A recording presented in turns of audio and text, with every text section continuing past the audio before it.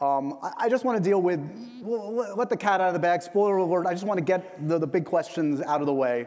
Um, welcome back, Superman. Uh,